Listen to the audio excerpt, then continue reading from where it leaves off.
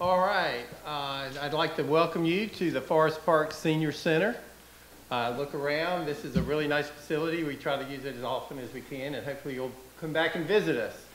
My name is Wright Gwynn. I am the Forest Park Environmental Manager and I will be your host tonight, not the presenter.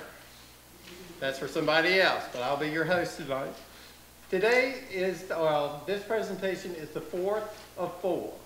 So we've already had three presentations in 2023. The, the first one was the coyotes in our neighborhood. The second one was using native plants in our landscape. And our third one was whose yard is it? Backyard wildlife issues. The critters or us, basically. Okay? And all of those are on my website in case you weren't here physically to, to uh, enjoy her presentation, just either give me a call or go to my website. They're there. You can click on them and watch them at your leisure. Now, before we start with the befuddled by birds, there are a couple things that we need to go over. Now, the first thing, if you haven't already gotten handouts, before you leave tonight, please help yourself to the handouts about uh, befuddled by birds. I've looked over them. They look really good, a lot of good information. Second table over there are the door prizes. We have some really good door prizes. So hopefully y'all will have lucky tickets and be able to get them. The way that we're going to do it is it's going to be after the presentation and after the question and answer period. Then we'll go ahead and we'll draw the, the tickets out and we'll see who gets what. Okay? And then after the presentation, and if you do have a question, raise your hand, we'll recognize you. You need to come here and speak into the microphone so that it can be recorded on by the camera. Okay? I know a lot of people raise their hand and then they start right away with their question. No, take a breath, come on up, use the microphone. And the most important thing is we do have restrooms in this building. You can go through those doors and to the right, and they're right there ready, ready and waiting for you. So tonight we do have a neat pre presenter. She, like I said, she's done four presentations for us this year. She has not disappointed. uh, she's been an educator and a naturalist most of her life, adult life. She's worked with the great parks. She just recently started her own natural history and consulting organization called As, uh, the Crow, the Crow knows. Yeah. And um, she knows a lot. So if you're ready, Carol, uh, it's all yours. Okay, so we're going to be talking about some birds that you're most likely to see around your yard, especially as we're moving into this winter season. So you're not going to see pictures of hummingbirds tonight as much as we love them. It's, they should have moved on by now. But the question that I get a lot is, how do you tell one from the other? So are you befuddled by birds? we get that question a lot. All right, so if you are, then let's look at who might be at your feeder. Do you know what this bird is? Cedar wax. A cedar waxwing, ding, ding, ding. She gets that. Look. I've wanted to see one my whole Your life, whole life. Well, they are right here in Forest Park in Cincinnati, and all they really need is a little bit of fruit in the spring and in this late fall season. And they have a really high-pitched sound. But look at those colors. It really looks like the tips of their wings were dipped in wax. What do you notice about his face? He's got a mask and a crest. Okay, there might be a test, so pay attention. Okay, a real quick easy bird ID. This is a bird. Got it? You know this, don't say it out loud. You know what it is. All right? Pay attention to shape, size, beaks, so on. All right? This is a bird. Everybody knows this one? No questions asked?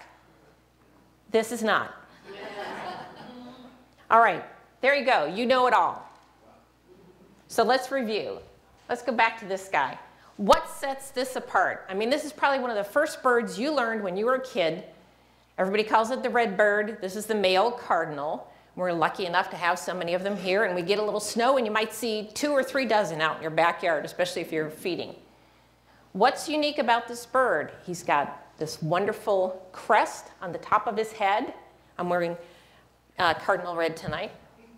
He's got that black mask. Look at the shape of that beak.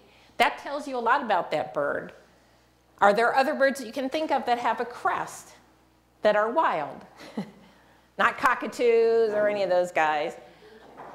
Blue jays, the tufted titmouse, the cedar waxwing. See, it's already working. You know some of this stuff. All right, so when identifying birds, you need to consider some of the following. The size and the color. That color may change per season or age of the bird.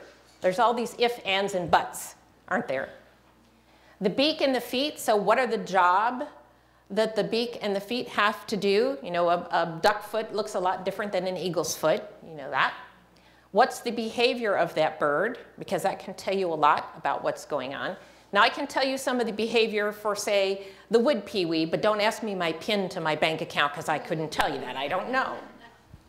If I'm walking across the parking lot and I hear cranes flying over, I will stop, you know, but some of this other stuff is not as important to me. The song or the call and the season. Here in this part of the country, we have a lot of interchange going on where we have birds that are here during the summer months and they may go away during the winter months. And the habitat and location that they're found. Have any of you ever seen this guy? He's right here. He's the eastern kingbird. He's a little smaller than a cardinal. He's got that real pretty white edge on the dark part of his tail, and he flies like this because he's hunting insects. Has anybody in the room seen this in the wild? No, and he's right here. We got to get you outside. the simplest of tools, my favorite tool for bird watching is this, the pencil. And a piece of paper. I have little notes probably everywhere. In my car, in the glove box, you know, the thing you're supposed to write down, maybe there was a problem with your car. No, it's full of bird notes. That's the simplest thing that you can do is to just keep a notebook by the kitchen window that you're watching the bird feeder or put that notebook in your pocket. If you're using a phone, certainly you can make notes in there. I really like my pencil and paper. That works really well. Another good thing is a decent pair of binoculars. Yes, you can spend $1,200 on a pair of binoculars, but you can also buy one for about 25. And they work pretty good, especially from the kitchen. The other part for me is I don't want one that weighs nine pounds around my neck. So it needs to fit in a pocket or go around my neck and not weigh so much. A bird list. So there's bird lists available. This is a fairly old one. This will tell you I'm dated. Dated to the point where I used to do bird counts for Hamilton County Parks, and the very first one I did was in college during those 77 and 78 winters, whew, when it was hard to find birds. Now, you can use your phone, go to eBird, look up any city anywhere, and then create a list. If you're going to go visit Salt Lake City, Utah, it will create a list, and you can print it out if you want and take it with you. So very simple things to use. Good checklist. And then a good book, you know, you have to decide on which book you want to use. I'm very fond of books. I know everybody has that uh, computer in their pocket, and that's fine. But this still works if the battery dies. There's plenty of other resources out there. So if you look at things like that eBird that I mentioned before, or Merlin, which is an app that can be put onto your phone. It's through the Cornell Lab of Ornithology. And that is an excellent, excellent resource. I can't say enough good things about Cornell Lab. The National Audubon Society also has an app. But that Cornell Lab, um, Merlin, is from the Cornell Lab of, of Ornithology. And if you want to go to their website, if you have a bird that you think you know, you can look it up by size, shape, or it looks like a cardinal. You can put in looks like a cardinal, and you'll get an answer back from that. So we're going to be talking about birds that you can likely see around your feeder or in your backyard. Songbirds, woodpeckers, blackbirds and their kin. We've got a lot of blackbirds coming in in big groups, especially right here in this intersection. You know, they take over the wires that are there. Crows and jays, game birds, and birds of prey. And I want to tell you that when you have a bird of prey come into your backyard where the bird feeder is, and you get your feelings hurt because he ate a little sparrow of some sort. Remember, it's a bird feeder. You cannot discriminate. My answer to you is you are so lucky to see a red-shouldered hawk come into your yard. So just think about that when it does happen. Okay, top three birds at the feeder. Cardinals, of course. Males are bright red and they have just gone through a color change so they are even brighter than they were, say, six weeks ago.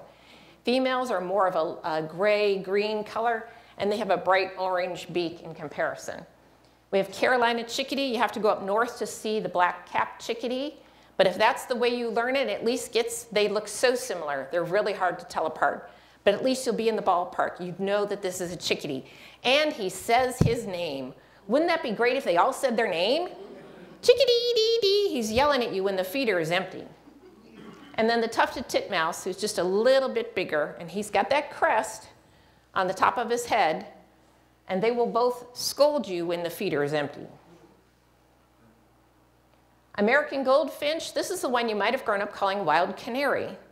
And what people used to think many, many, many, many years ago was that the goldfinch went away for the winter. No, it doesn't. It just changes its clothes. They go ahead from that bright, bright, bright yellow and black to a very dull color with just a little bit of yellow on the top of his head.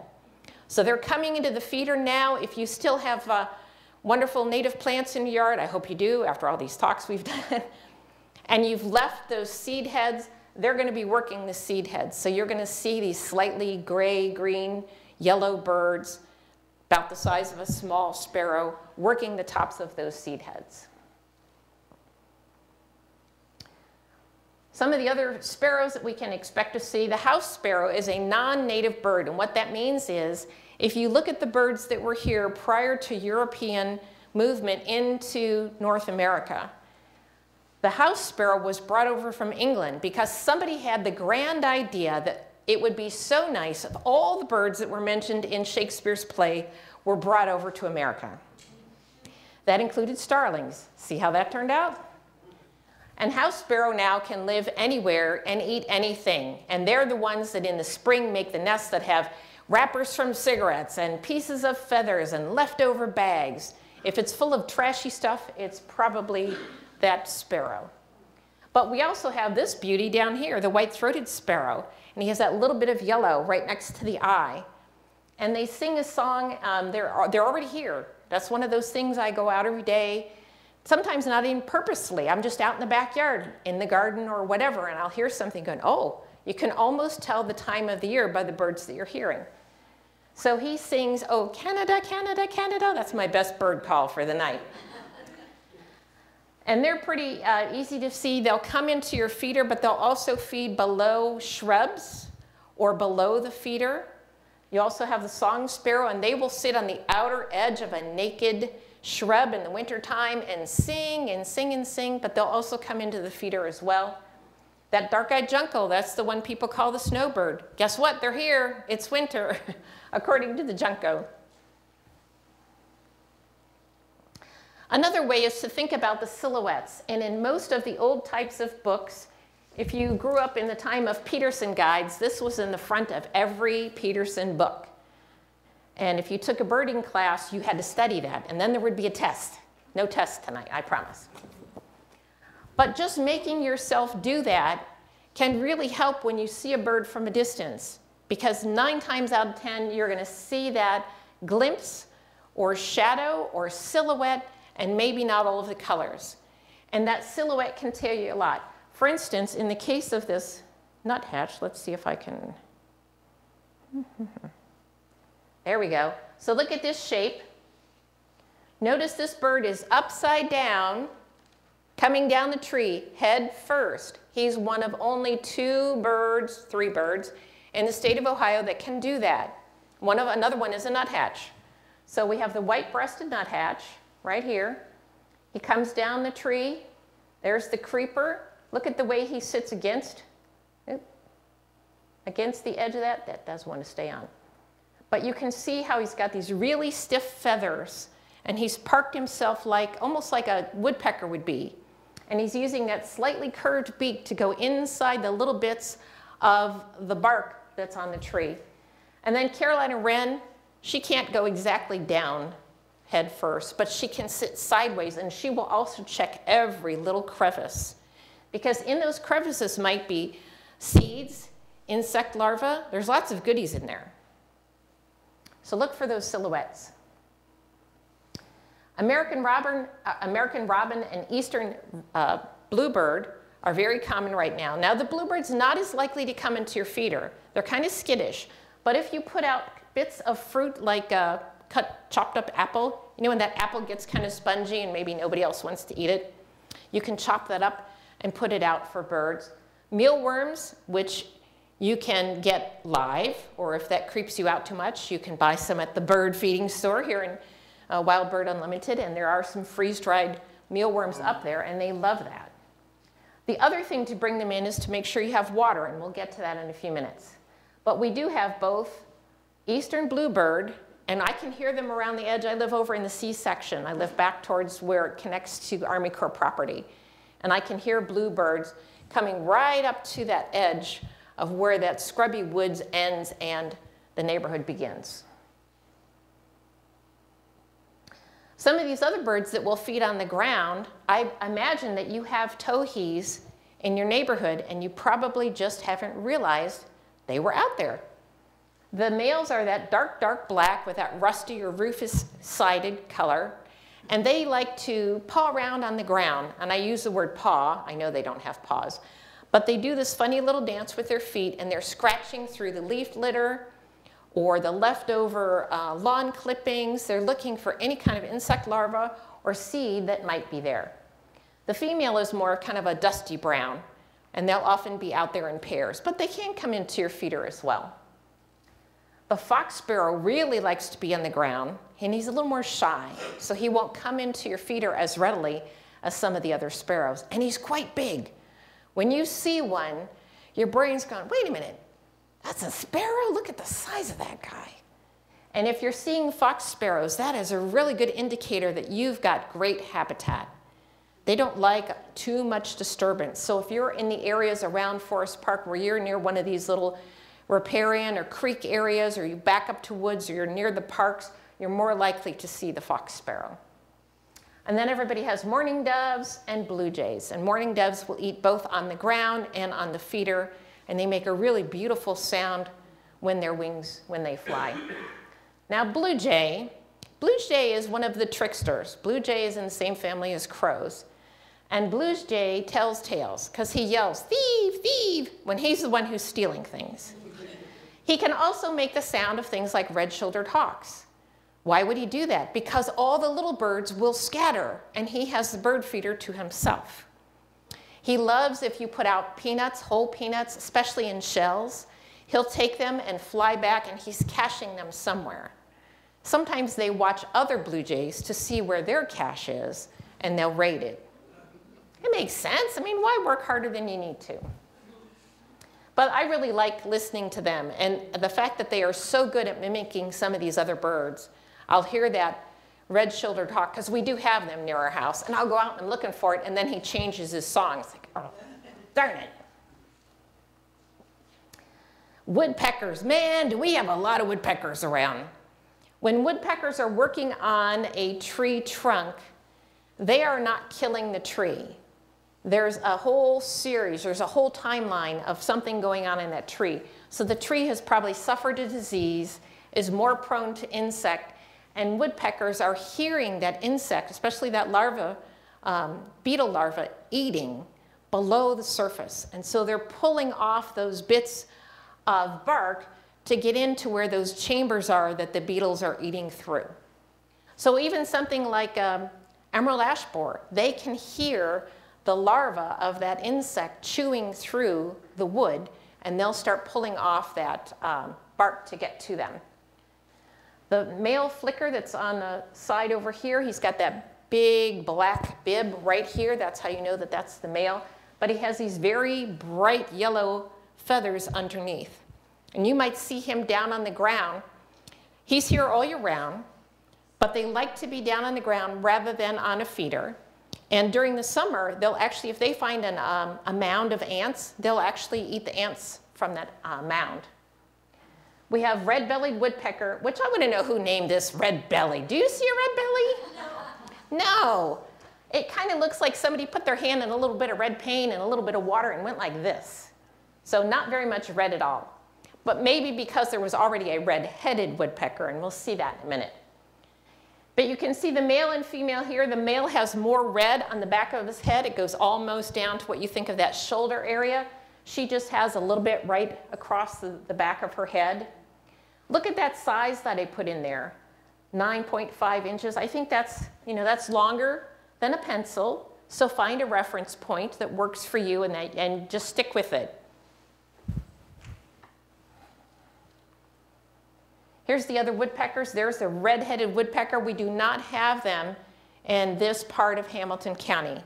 If you go out to Miami Whitewater or you go out to the east into Goshen, Bethel, and so on, further out beyond that, you need mature woods, undisturbed, for the red-headed woodpecker to be here. And they are really that bright, bright red, full white, and dark. And they will fuss at you if you're walking through the woods. They'll follow around above you as if they're telling everybody else, somebody new is here. But all of these will come into the feeder if you, might, if you have one up during the winter time. One of the oddball ones, see if I can get that to work. Oh, nope. Let's go back up there. All right.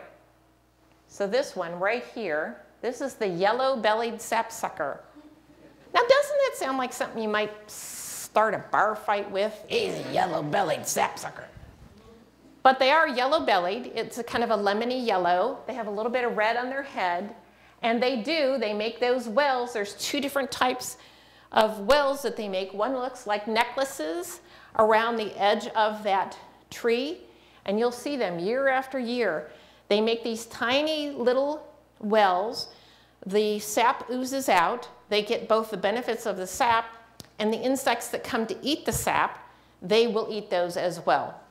Can that damage the tree? A little bit. It's a pretty small hole, but any hole that goes through the bark into that sap layer is a spot where uh, bacteria or other pathogens can get in. On the other hand, this one, look at those. Those are about the size of the, my baby finger, the tip of my baby finger. And that type can really can cause some damage. But a lot more insects will come into that.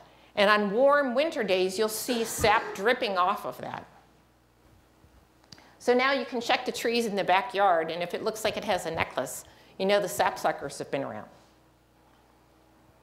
Woodpeckers, this is the largest woodpecker that we still have that's around here. We're talking about something about the size of a crow.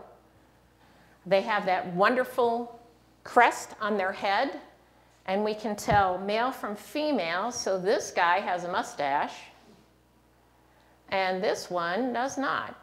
Here's a youngster. You can tell his pileum hasn't quite formed yet down on the ground. And that was actually taken like I said, we're in the C section. It backs up to Army Corps property, and a big tree had fallen, and we were watching them work that. And we got to see the young come in. And really, you just see flakes of that tree flying all over the place. When they make those holes, though, that provides habitat for other animals. So things like screech owls, flying squirrels, uh, bluebirds will use their hole. Other types of birds, bats will also take refuge in there. Blackbirds and their kin. Okay, so starlings were brought over. Again, that grand idea that we should have every bird that's in Shakespeare's play in the United States, I don't know why. and if you see one starling during their breeding plumage with those tiny teardrop spots on them, they're really beautiful. They're very smart, and they can mimic all kinds of other sounds. They can mimic human voices, they can mimic whistles, um, they can mimic birds of prey. And they are the ones that get into these huge flocks that you might see that almost looks like schools of fish up in the sky. I know this particular intersection right here at Winton and Kemper, they will line up on all of those wires and you watch them, especially as night's coming in. They will be there for, until it's like they gather everybody in one place and then somebody gives the message and they go and fly someplace else for the night. But we also have common grackles that will end up in a group, not quite like that.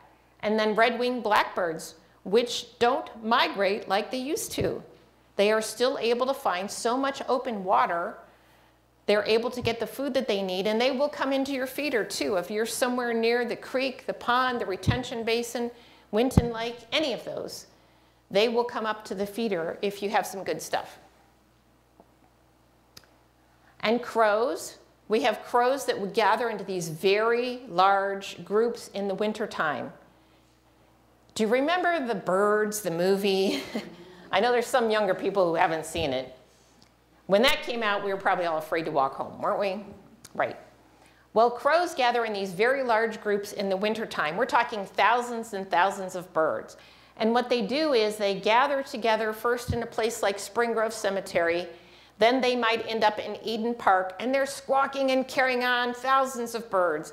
And just before the last bit of light, again, like the other blackbirds, somebody gives a message and they disperse and are hiding up in trees that might be near a building because they learn that can be protection for them. So you don't think about the city as providing protection, but it's a few degrees warmer. If they're on the right side of the building, they will be blocked from rain, wind, and snow. And when the sun comes up, they come back north. It's, it's almost like a uh, com commuter where they're down in the city overnight but they're flying back up here, and often in the wintertime we see them at Rumpke's. There'll be a steady line of crows on the move. They are incredibly smart. They recognize people and dogs. They're great problem solvers. I mean, if you, uh, they can get into the trash bin. If, if the trash is open enough, they can start pulling it open, and then you're going to blame somebody else's dog for getting into the trash when it might have been the crow. If you have bits, uh, that was a puzzle that was put out for them. But many years ago, when milk was delivered to our doorsteps, crows learned they could pull back that pog or then pull back that foil and get to the cream on top. And they have documenting them using tools, finding the right shaped stick to push into a puzzle box to get the treat out. I have a fondness for crows in case you hadn't figured that out. The crow knows. As I mentioned before, birds like bird feeders too. Like, you can't discriminate, everybody has to eat. For every strike that they make at a bird feeder, maybe one in 10 will be successful. So your heart might break a little bit because maybe that was your favorite chipping sparrow, song sparrow, whatever it might have been. But the fact that you got to see that raptor, I want to make that on a positive side. You got to see this bird of prey up close when most people will go their whole life and never have the opportunity to see that. I have a neighbor that has tall grasses that she leaves up during the winter time, and around that is a big tall fence on one side. And the red-shouldered hawk will come and sit on that and look down in the grasses because mice and other little birds will hide in there. So it's become a little bit like a smorgasbord. But we do have red-tailed hawk. They're about 22 inches tall the red-shouldered hawk, which is almost exclusively a bird eater, the Cooper's hawk, and man, they, they look like they're dive bombing. I mean, they look like little kamikaze flyers in between the houses and next to the bird feeders. That's a male with that darker color. The females look a lot like the red-shouldered hawk in the middle there. And then we rarely see kestrels. This is the one you might have known as sparrowhawk. So not very big, about the size of my hand extended, but we don't see them as often. It used to be in the median on 275 here, every little bit you'd see that sparrowhawk, that kestrel, hovering, looking for mice. We just don't see that. I think there's just too much human pressure for some of these habitats, especially for kestrels. The thing about feeders is you have to decide what works for you. Obviously, depending on the type of bird that you want to bring into the yard is, is part of your bearing on what you choose the type of feeder. I would suggest always to buy the best bird feeder you can because sure, you can go to any little side store and buy a plastic thing, but it won't last very long. It will freeze and thaw and break. The squirrels will chew through it. The raccoons will pull it down. And so that's something to think about. You know, maybe you want to invest. It, some of them are pretty hefty, both in the way they feel, but in their cost. But it'll probably be the only one you ever have to buy, as long as you take care of it. So you have these hoppers that have a top and then basin that you put the seed into. You just want to make sure that you keep it clean. Uh, this one has glass. It looks like the gazebo there, and it has glass or plastic. In most cases, it's plastic, so that you can see how full it is while you're still inside and it's warm and snuggly and it's snowing. Then these other platform feeders, one is hanging and here's one on a pole. And that allows things like uh, mourning doves and other ground feeders will come up and use these platform feeders as well. Favored seeds, and uh, I think one of the handouts was a chart on some of the favored seeds. So depending on the type of seed that you use, may bring in different types of birds. Things like we talked about before that jays really love whole peanuts. They think that's, I mean, that's a puzzle box to them. So they like that as well. But if you could get peanut hearts or whole peanuts not salted, don't use salted or honey roasted. If you put the honey roasted out there, the squirrels will thank you. But they don't need that extra salt. So just go with the raw peanuts. You can use safflower seed. Now, it was said when safflower seed came out that the squirrels and the chipmunks weren't as interested in it. I'm here to tell you the squirrels and chipmunks in my neighborhood absolutely adore it. I don't have it in my yard, but my neighbor does. I have safflower coming up in my vegetable garden every year. because they come in, they unload their little chubby cheeks into the soil, and I'll find 10, 12, 15 coming up in the soil. The sunflower seeds, the best bang for your buck is going to be the black oil sunflower seed, and there are a few examples of the different types up here.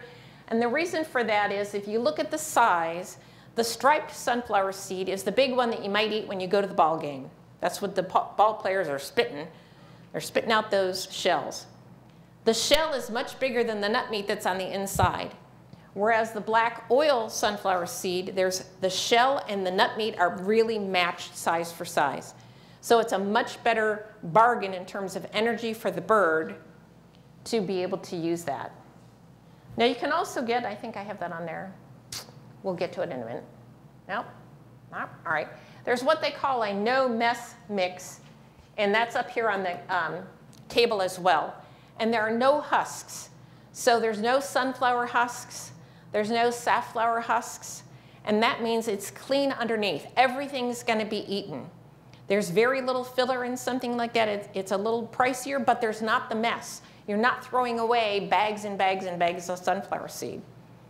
And the other thing about sunflower seed is that those seeds, if they're left on the ground, have what's called an allelopathic effect. In other words, they're putting out a chemical into the lawn and into the other plants. They don't play well with others. So what you're going to have is a, a area that has died back because it's been treated by the chemicals that's being uh, coming out of, exuded from the sunflower shells. At our house, we just, I'll rake them up a little bit and I'll put them into the compost because then they're to get mixed around and that helps with some aeration. Niger seed, Niger is not a thistle. If you call me and say, doggone it, I have thistle coming up underneath my bird feeder, you probably do, but it did not come from the Niger seed. Niger seed is from a completely different type of plant. It's not native to this country and it goes through a very special heat treatment so that it cannot grow. It is not viable. So what you buy at the bird feed store or at the feed mill, if you ask for Niger or thistle, with my quotations, it's not truly a thistle. It's a completely different plant that's part of the aster family. If you have thistles coming underneath your bird feeder, that's because birds like to eat thistles, and we have native thistles and we have non-native thistles that just grow all over the place. And when birds eat something, then something else comes out. So they're planting those thistle seeds where they're stopping for a minute. The type of feeder is very specific for thistle seed. I'm sure you already know that. It's a clear plastic or glass. Some of them are pretty heavy weighted with tiny little uh, slits for that seed to come out. It really is a tiny little seed. And because the slits on the feeder are very small, very few types of birds, most of it is goldfinch, can get the seed out of the cracks or those little openings. And that way you don't waste it by having the other big bullies come in and eat it all.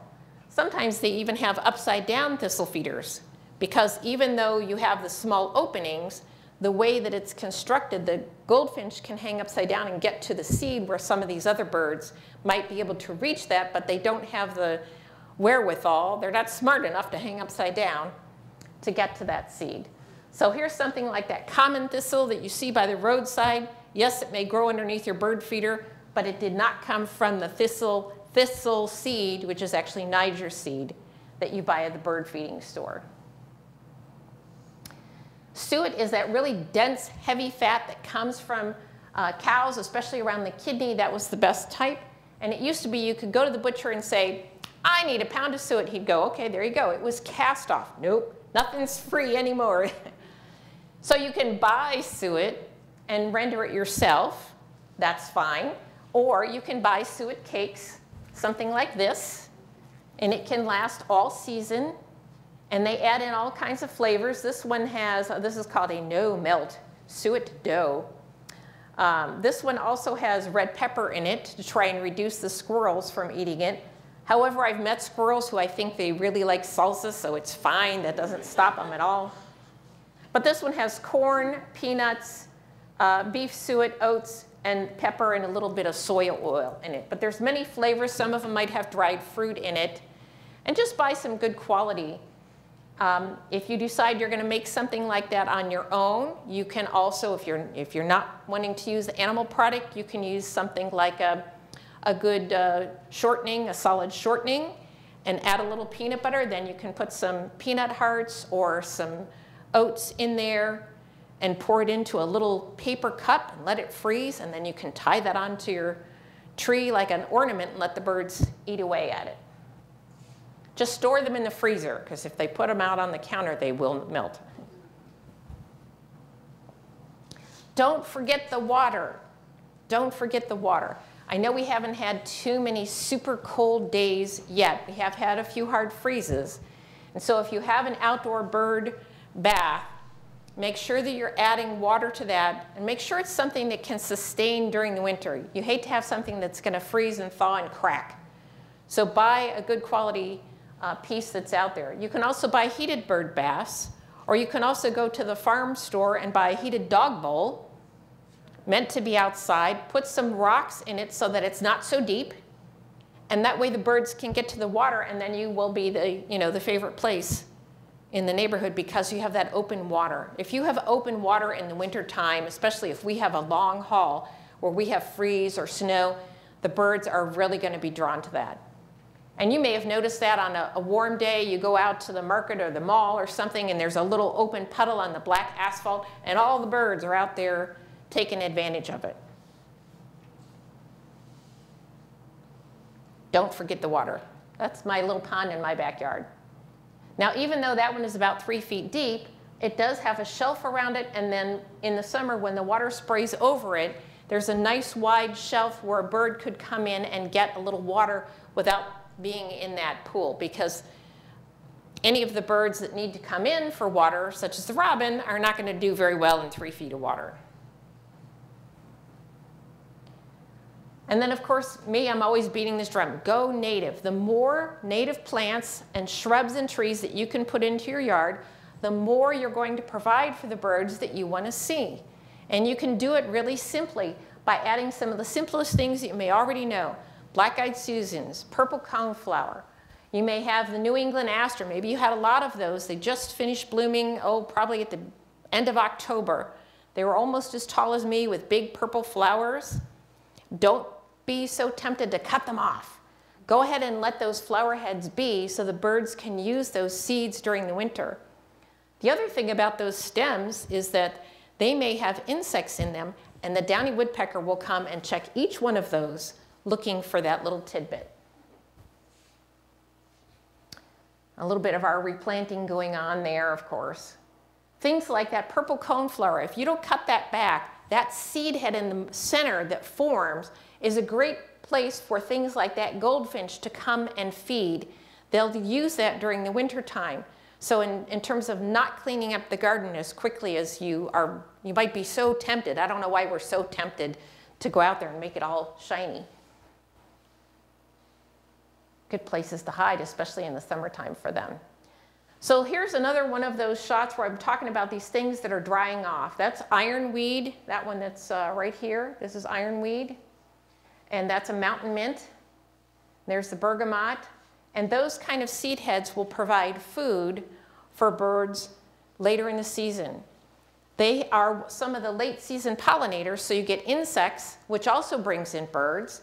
And then once they go to seed, the birds will benefit from them in the winter months. So the more variety of things that you have, because we feed the birds really for ourselves. We want to see the birds up close. So we put the feeders out there and decide the types of seed we're going to use. But you want to offer these other good things for them. It's kind of like if, if all you eat is chips and salsa, you're not going to be a very healthy person. So you need these other variety pieces. Right now we've got frost weed, so the, the seed remains, the birds can have that, and the, seed, the stems have already started to split in that last time we had a 29 degree day. We have this wonderful frost, this ice flower formation that comes out. How does that benefit the birds? It becomes another source of water down on the ground, kind of around where that area that we did not clean up. That's another source of water if there's not open water for them to get to. Other types of shrubs that you can include in, same thing. Now you might be grumpy because the birds come in and of course they, you know, if they eat something red, then there might be something red at the other end that comes out. Uh, right now we see, you know, the honeysuckle berries are crazy all over the place. Those are not native. They're so alluring to birds because they're red. That's one of the colors that birds um, almost automatically go to. If it's red, they want to eat it. They want to try it. And so I would encourage you to look at something else like this fragrant sumac that puts on red berries, the dogwood that puts on red berries. There's plenty of other varieties of native plants you can use that will draw them in. Oh, let me go back on that. Okay, so there's a birdhouse. I often get questions about leaving your birdhouse up over the winter. Yes, please do. In fact, if there's a bird nest in it, leave it because those little sticks and bits will be protection if we get some really bad weather. Chickadees and titmice will go into those and take some refuge. So will wren, if the hole is big enough, take refuge in those when we have really bad weather. By the time we get to late February and March, that's time to go and clean them out. If you're trying to get chickadees to nest or bluebirds to nest, bluebird is not like a dirty house. So that's the time to go and clean that house out, Give it a good scraping out. Make sure there's no mice because they might have also taken over that spot for the winter time. But if you have a birdhouse out like that, leave it up for the winter. And then those great dogwood berries, I mean, that red color, if you have mockingbird. Now, mockingbird can be a bully. I'm sure you've seen him come into the feeder and he chases everybody off. And you might try putting separate feeders. And he'll do the same thing if he finds a dogwood tree. He will try and protect that from the other birds coming in to get it. My advice would be plant another dogwood tree. Even in the winter time, in fact, we have winter bird counts. The Christmas bird count is more than 100 years old. The Audubon Society started that all these years ago. And people still go out. They get in their super insulated stuff and they go out in some really lousy weather or really nice weather and count the varieties of birds that they see and the numbers each year. And you think, why would anybody want to do that? Hey, I was a competitive birder for a while, so yes, I was one of those bird nerds. The reason for that is if we count the birds this year that you see, just say in your backyard, that one year means a little bit. But if you have three years, five years, 10 years, 30 years of data, now you can see the trends and you can also go back and look at the weather. So in the years that we had those super bad winters here in Cincinnati in 77 and 78, robins, bluebirds, and Carolina wrens, the next year, the numbers really plummeted because it was so deep with snow and then became so cold it took such a toll they could not get to food or open water. So think about that. You might just be doing that backyard bird count in your own backyard. You know, there's more than 60 million bird watchers. Think about that. Think about the economic value of bird watching in the United States. or all over the world. People plan vacations to go to places, you know, down to South America, to um, islands all over the place, to, to Tahiti, to Finland, to Alaska. We went to Alaska for birds. We went out there in some really crazy weather looking for things. Why? Because it's, we share this planet. We want to see as much as we can see. And when you do that, when you slow yourself down, competitive birding is not slow, I'll tell you that. But I'm telling you, when you're watching birds out the window with your cup of tea or your morning coffee, you're slowing yourself down and you're taking that enjoyment. But you're also noticing some behaviors in birds that you may not have ever thought about. I mean, isn't that a gorgeous picture? This bird is just stretching that wing out. It's just the same thing as you and I giving a big stretch in the morning. But because you took that moment to be still, you got to see not only the color of that bird, but maybe a behavior that you hadn't seen before. Ohio has more than 400 species of birds. How many do you have in your backyard? So that's going to be your homework. There's no test, but that will be your homework to start your winter birding list to find out what you're seeing, especially over the winter. Okay, so I have a few other things on the table I want to tell you about. One of them is, I'm going to pick on you for a minute. You put your hand down. Okay. She is holding the weight of one cardinal. So look at this. These are all paper clips. That's the weight of one cardinal. If I gave you a penny, that's how much the hummingbird weighs. Before it doubles its weight and flies off to South America for the, for the winter. Wow, it weighs a whole penny. So when you think about what birds do, the other reason they're able to do that is because they tend to have what we think of as hollow bones. It's not hollow like a straw, but it doesn't have the marrow, the thick, dense bones, because they need to fly. Well, unless you're an ostrich or a penguin or a kiwi. But you can see where their bones are meant for flight. They have those big breast muscles. They have that really strong sternum that holds those muscles together. And when they're able to do that, they can go from very simple flights or ridiculous flights. Do you know wild turkeys fly? We have wild turkeys right here in Hamilton County, right here in Forest Park. Those birds will be 25 feet up in the trees. And I'll tell you, if you're ever taking a walk before dawn and you spook some turkeys, your heart's going to race so fast you think you're going to, you know, you feel like Sasquatch is coming out after you when these birds come out. We have them in our yard. They come up from that Army Corps property and they hang out underneath the feeder by the neighbor's house. So the idea that I, when I've been Forest Park now 30 some years, the idea that I would have turkey in my backyard never occurred to me. But here we are because they've adapted so well. Other than the part about them fighting themselves in the neighbor's car. I'm not sure what that is. Pretty silly. All right. Um, other things in terms of mentioning, let's see. Other things that are on the table. So if you have birds of prey, and you'll have to come up to the table and look at this.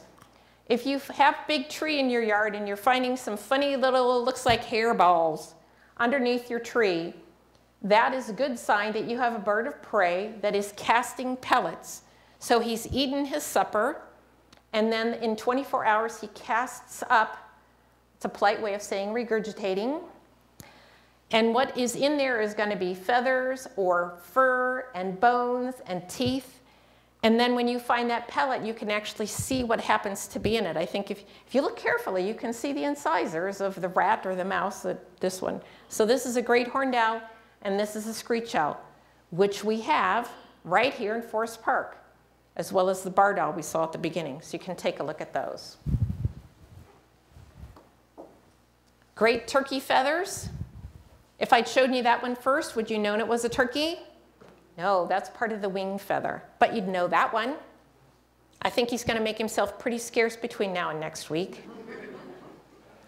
The birds that we buy for Thanksgiving are bred differently to have much more breast muscle, and they don't live much past about six months. They're so heavy, their body and their bones, break down, they end up with problems in their feet because they get so big. A wild turkey, a male, might top out at about 24 pounds. He can also run about 20 miles per hour. Those big white turkeys, all they run for is the dinner bell. All right, another thing, and we have some of this on the table, is uh, occasionally I get calls about birds striking the window. What do you do about that? Now, you can't close the window curtains because if you do that, it just makes a better mirror on the outside. And right now, the way the sunlight is, especially on a nice morning, if you have an eastern or southern facing window, the reflection is going to look like open sky. So what you want to do is something on the outside of the glass. This is mylar tape, but it could just as easily be some long plastic, you know, you cut up some grocery bags. It has to be on the outside and long enough that it will move. So you're breaking up that mirrored effect. Even though this looks like it's mirrored, it has facets that you, don't, I, you and I don't see. And it bounces light so that catches the bird's eye to be aware. It breaks up the pattern of the sky that looks like it's an open airway for them. I'm sure you've all had birds hit the window.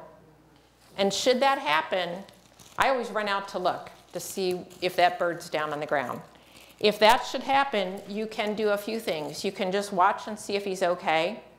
If you feel brave enough, get a big paper bag, gently with a gloved hand, put him into the paper bag, roll it down, put a paper clip or a clothespin or something on the top, Put it underneath the porch, in the garage. Do not bring it in the house. It's too warm.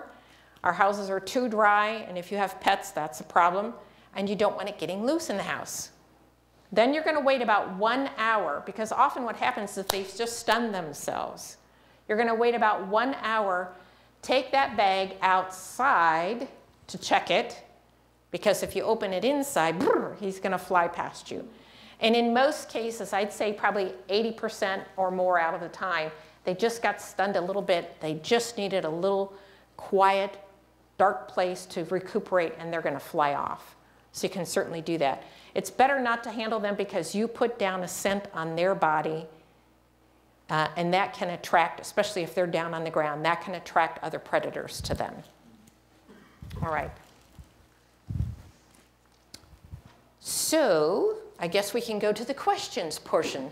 Thank you so much. I know that was blitzkrieg, wild, fast.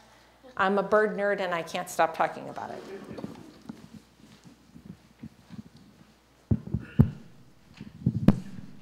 Okay, if anybody has a question, just raise your hand and come on up and feel free to ask the question.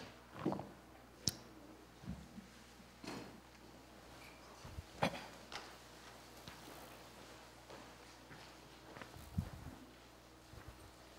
I just have one question about birdhouses. Uh-huh. Where is the best location to put them?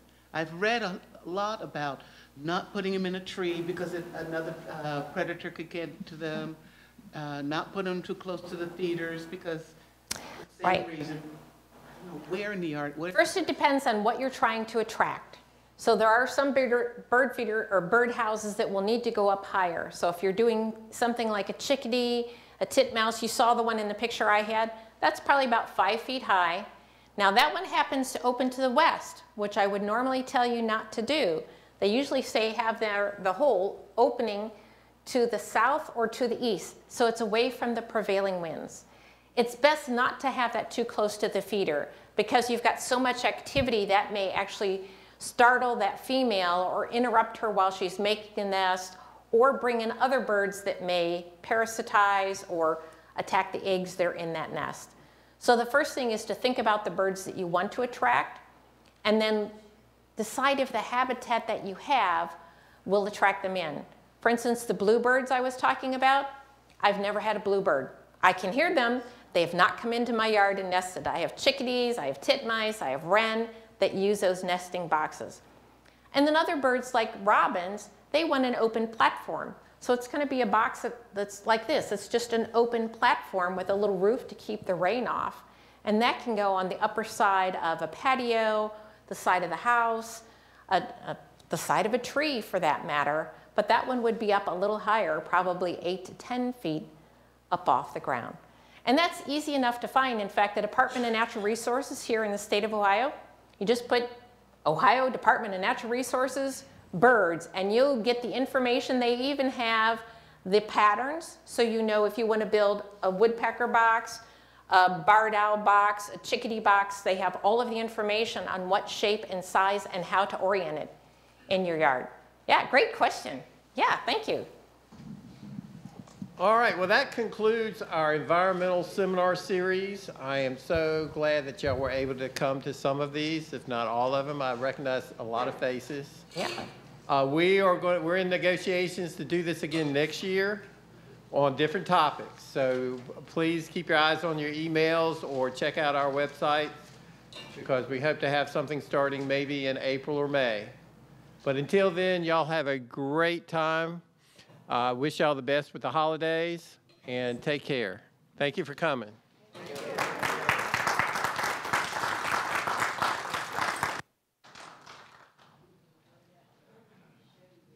Feel free to come up and talk with Carol too. I, I'm, I'm sure there's some other things she can show you or tell you about.